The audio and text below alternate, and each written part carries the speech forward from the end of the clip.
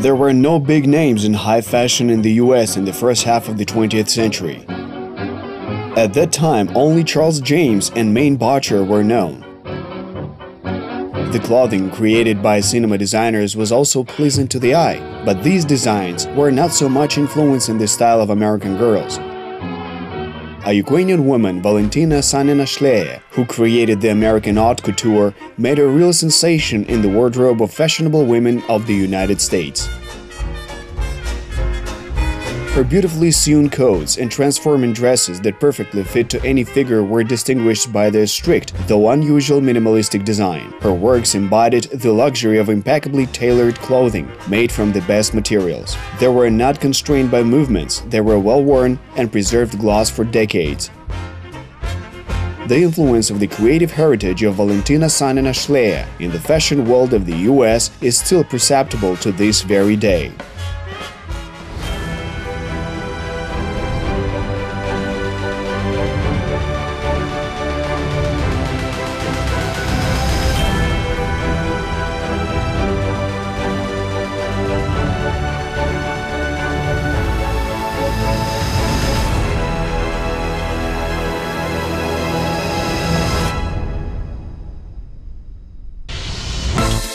The active development of the fashion industry in Ukraine started in the early 1990s. Today, two large sites have turned Kiev into the fashionable capital of southern Eastern Europe, and the names of many Ukrainian designers appear in the official programs of international salons in London, New York, Milan, and Paris. Despite this, the pride of modern-day fashion is the bright pages of its past.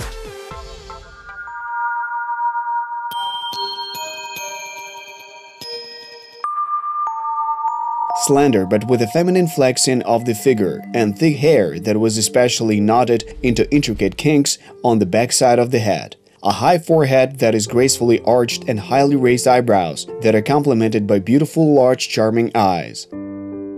So, with a glass of whiskey among the smoke of cigars, the gallant Americans gossiped about the designer of clothing designed by Valentina Sanina Shleya, and the rich fashionable women of the US were waiting for haute couture outfits. Not much is known about Valentina's childhood and adolescence. Revolutions and World War I erased many pages of the designer's life. The exact date of her birth is unknown. Most biographies mention May 1, 1904. In some of them, her date of birth is 1899 or 1894. But the story of our heroine began in Kiev. It is known that after the October Revolution of 1917 in the Russian Empire, she moved to Kharkiv. She graduated from drama courses. She dreamed of playing on a stage since her childhood. The actress was so beautiful. She was heaped with applause and flowers. Sure, she was able to break dozens of hearts of men among who was a pop idol.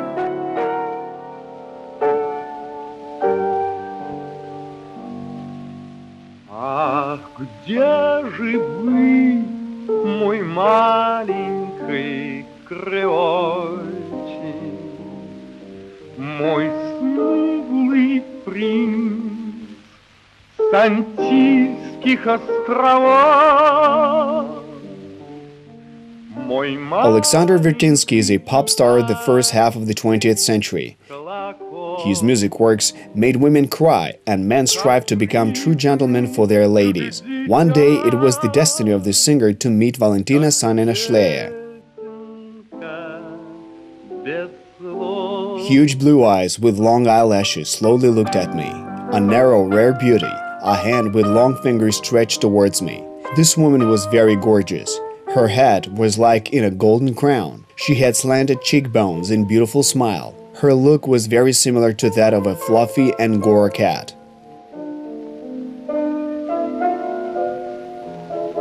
They met in a cabaret in the Kharkiv Art House. The singer devoted romances to his muse.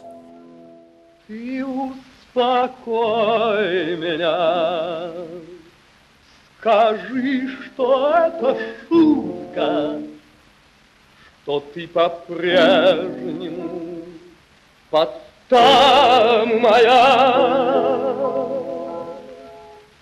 Не покидай меня, мне бесконечно жутко. шутка, мне так мучительно, так страшно без тебя. In these notes and words, there were not just the simple relations of two creative souls. She obviously could not fall in love. She was a femme fatale, but she took advantage of Vertinsky. Of course, she was only a moment in his biography in his poetry, the singer's daughter Anastasia recalled. But this moment in the biography of the future goddess of American fashion had passed quickly. The singer went on tour to Odessa, and Valentina, like many others who didn't welcome the Soviet occupation of Ukraine, ended up in Crimea. Это все, что от вас осталось. Пачка писем и прядь волос. Только сердце немножко сжалось, в нем уже не осталось слез.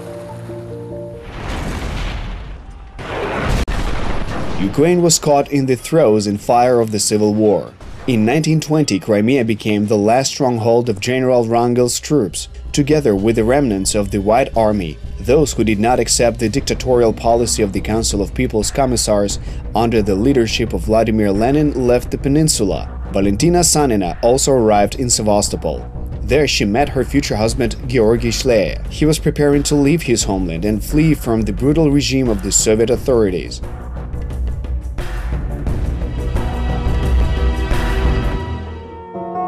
I was sitting at the train station not knowing where I would go. Then a rather handsome man approached me and asked who I was waiting for. In a matter of a moment, while admiring my beauty, he immediately proposed that I marry him. When exactly the couple got married is unknown, but they left Ukraine together.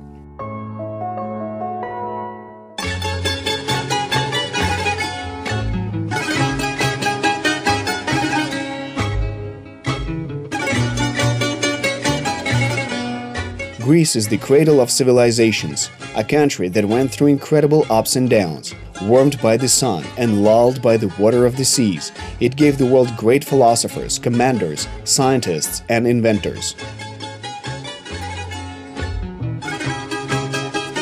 Here, an emigrant couple settled not for long. Valentina instantly fell in love with the antiquities of Hellas and started to sew antique-style dresses.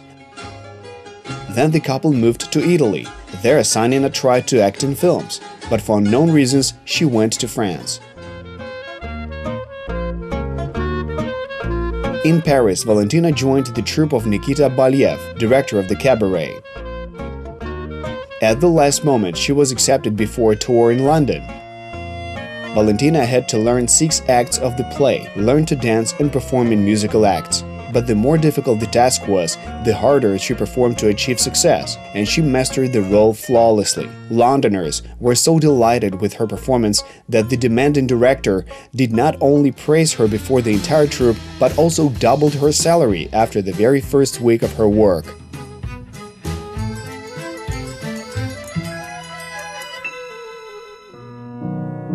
Sergei Diaghilev called himself the philanthropist in the European sense.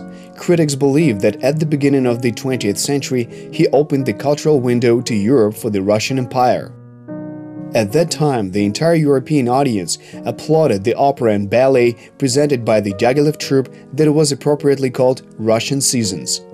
In Paris, Valentina Sanina Shleya also participated in the plays of Diaghilev. The artist and set designer Lev Bakst attended one of the performances.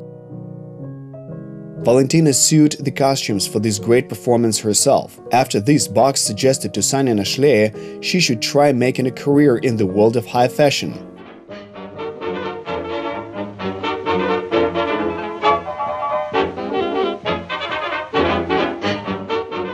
Nineteen twenty-three. The U.S. declared recognition of the government of Mexico. In New York, the Yankees baseball stadium was opened, and in the Amsterdam Theater, the audience saw the Charleston dance for the first time. In the same year, the Schleyer couple settled in the U.S. Georgy, who became George in America, had some savings. The funds helped to rent a small apartment and start speculating on the stock exchange. Valentina, like many beautiful immigrant women, tried herself as a fashion model at first. She knew she was beautiful, A Ukrainian woman was able to emphasize her beauty with clothing, hairstyle, and accessories. This was soon noticed in the high society of New York.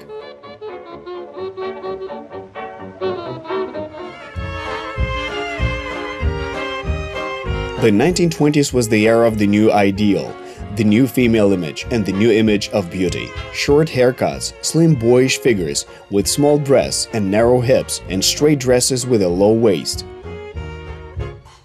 Valentina, who sewed outfits, appeared in long slinky dresses, emphasizing a thin waist with wide sleeves, a spectacular cleavage, and other very unusual details.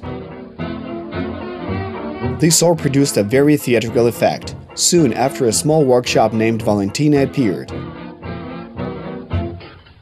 After that, a new shop called Valentina and Sonia was opened.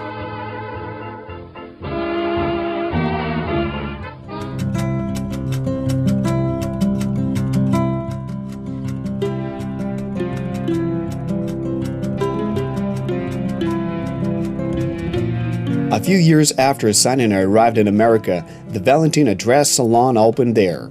It was one of the famous fashion houses in the US at the time. Valentina sewed there, and her acquaintances helped her to engage in her business.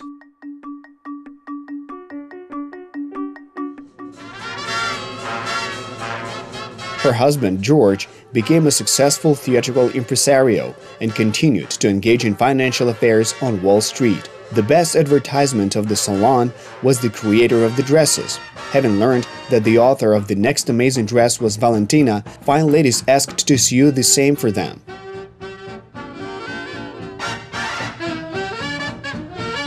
Every year, the number of customers grew. Valentina, in fact, was self taught. Already having received many orders, in the early 1930s, Sanina Schlee went to Paris. It was exactly there that she learned the basics of design. I learned only one thing never copy anything. A rework of French brands formed the bulk of clothing in America. I despise the idea of plagiarism. So I will make my own original clothing that will in no way be similar to anything else and will definitely attract the attention of interested buyers. During the World War II, when European fashion houses were closed, she saw the opportunity in the situation on the market. She called buyers and investors to pay attention to designers from the United States, invited colleagues to create a distinctive American style.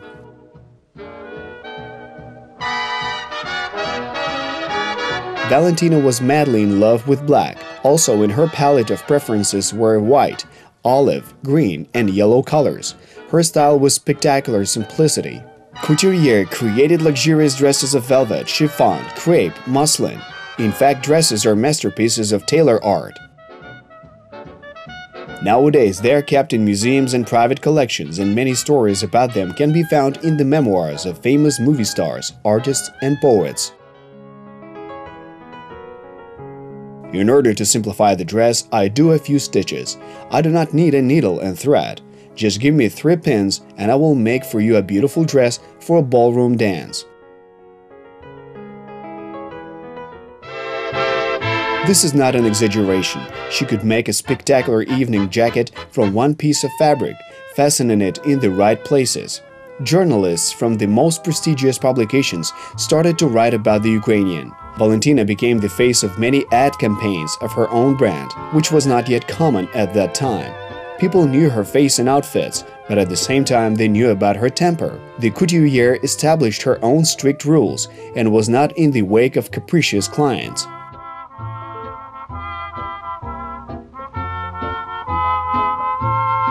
Actress Kitty Carlisle Hart, ordering her first dress from Sanina Schlee, asked to add a little glitter or at least a bow to the black dress. Years later, she recalled this moment. She turned to me and shouted, Oh, you want a bow? So go to Macy's department store. I was confused and apologetically murmured that this dress was such a luxury for me for such a high price that I just wanted something special. Then the designer said, Pay for it now, wear it, and then you'll thank me later. Go on, honey. Valentina is busy today.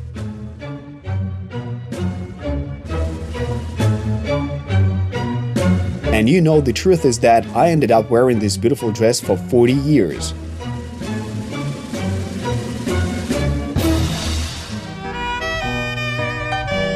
As for the shoes, the women who came to her in shoes with heels weren't serviced. She also didn't like the floral ornament as well. She simply ignored it. She said that this simply distracts from a woman herself.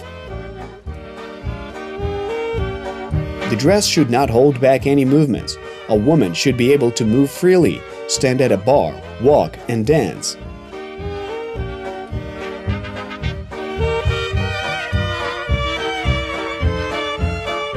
Dresses of Sanina Schleyer were out of time.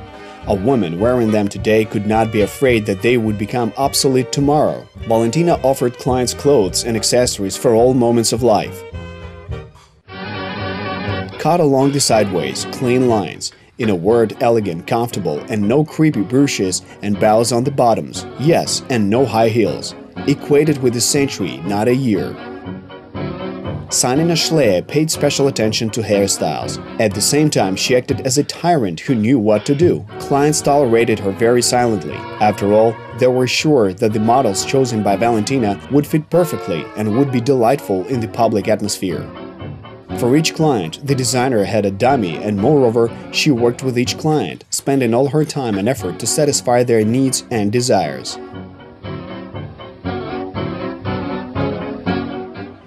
Marc Jacobs, Karl Lagerfeld, Hedi Slimane, Phoebe Philo are the bright masters of modern high fashion. They are not only creators of fashion, they also presented their brand to the general public through the style, behavior, and statements. Valentina Sanina Schleyer was also successful involved in this. She used to say, A Nerman is for bathrobes, and my salon is a clinic where people are treated for bad taste.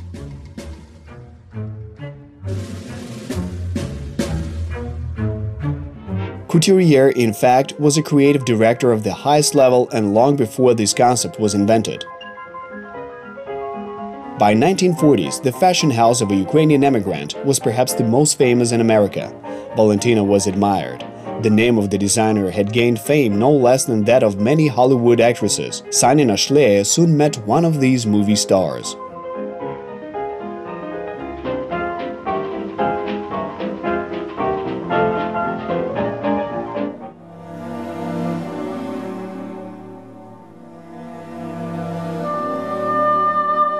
Popular American nutritionist Gaylord Hauser took care of the figures of his famous clients.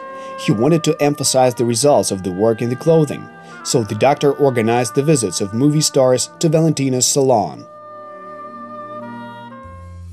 On the recommendation of Dr. Hauser, the film diva Greta Garbo also came to Sanina Schleyer. They were similar in appearance and soon after that became friends. However, the misfortune came unexpectedly. Garbo met Valentina's husband George. One day, the ladies came to party holding his arm, each wearing dark blue skirts and white blouses. Trinity had fun watching the reaction of the public. Soon, Valentina offered her husband to manage the financial affairs of Greta Garbo. She also did not oppose the trip of the spouse with the actress to Europe. A new relationship between the actress and George lasted for many years. Garbo bought an apartment in the same house where Schleyer lived, and Valentina made dresses for the Hollywood actress.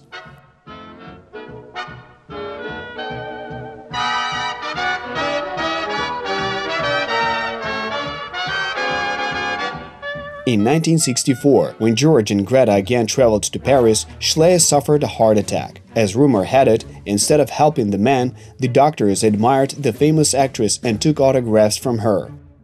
At this time, George, who was not given medical aid in time, passed away.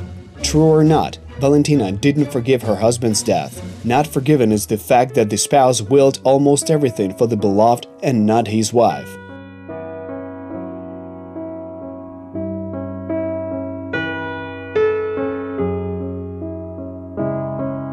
Valentina and Garbo continued to live in the same house, but they did not speak with each other.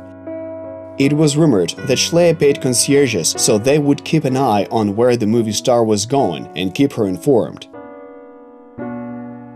Valentina didn't want to meet her in the lobby, but one day it happened. Valentina shouted to Greta, Begone, Satan! Soon the couturier closed the salon. She said that she was exhausted and simply wanted to relax. She replenished her collection of paintings and furniture of the 18th century, collected Russian icons, and prayed. The Russian painter Sergei Golerbach recalled his meeting with Valentina in the 1960s. At that moment, Valentina came in, a lady of 70 years, in a long dress and with reddish curls around the shoulders. I noticed on the wall a pencil drawing of a young girl. Are you Valentina? Yes, I was very pretty. Valentina Sanina Shleya is considered the first American couturier. All clothes were made only for orders in a small studio. The process was accompanied by a huge number of fittings, discussions and alterations. During the existence of the brand, about 2,000 women have become clients of the salon. Among them are fine ladies and wives of politicians, actresses, Gloria Swanson, Katharine Hepburn, Paulette Goddard, Norma Shearer, and Claudette Colbert. She dressed celebrities and she was a celebrity herself. In our time, the figure of Valentina Sanina Shleya is interesting to consider in terms of commercial success. It's no joke to open a business on the eve of the Great Depression and maintain it for almost three decades, critics of high fashion stated. Sanina's outfits were distinguished by a combination of simplicity, comfort, and luxury. She introduced Chinese jackets and dresses with Japanese obi belts, turbans and veils, hooded dresses and coats, skirts and cool hats. In the 1940s, Valentina became one of the most fashionable and expensive fashion designers in the United States and the most sought-after fashion designer for Broadway productions. In December 2012, at the auction of Julien's, a sale of items of the star of American cinema Greta Garbo was held.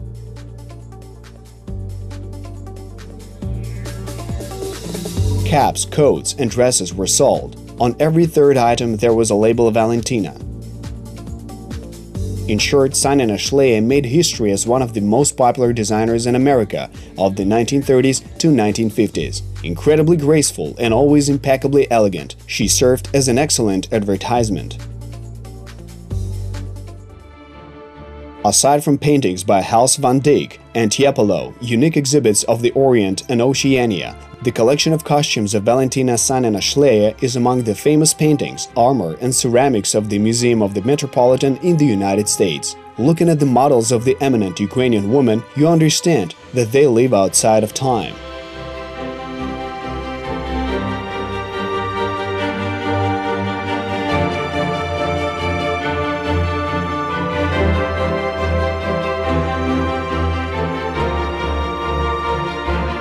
Gorgeous women still wear dresses that sewed in 1936. They were made with the expectation of a century, so forget what year it is.